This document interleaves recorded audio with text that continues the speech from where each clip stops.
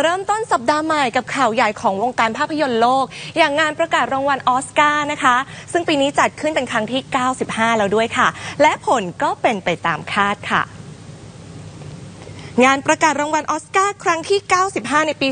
2023 นี้นะคะ บอกเลยว่าผลงานของฝั่งเอเชียเนี่ยโชนแสงไม่น้อยเลยทีเดียว ตั้งแต่รางวัลนักแสดงนำหญิงยอดเยี่ยม ที่ตกเป็นของมิเชลโยค่ะ จากภาพยนตร์มาแรงเรื่อง Everything Everywhere All at Once นะคะ อีกทั้งเธอได้สร้างประวัติศาสตร์ เป็นนักแสดงเอเชียคนแรกที่ได้รางวัลในสาขานี้ด้วยค่ะ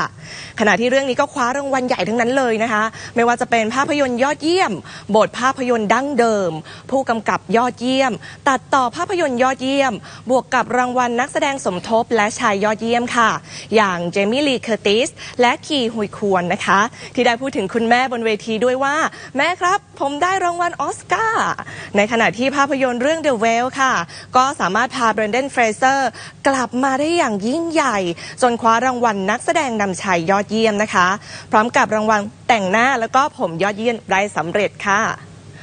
หนังฮีโร่ในดวงใจของใครหลายคนอย่าง Black Panther Wakanda Forever ก็ได้รางวัลในสาขาคอสตูมดีไซน์นะคะ ซึ่งงานนี้เรียนนาก็ได้ขึ้นโชว์ด้วยในเพลง Lift Me Up ซึ่งเป็นเพลงประกอบภาพยนตร์เรื่องนี้ค่ะ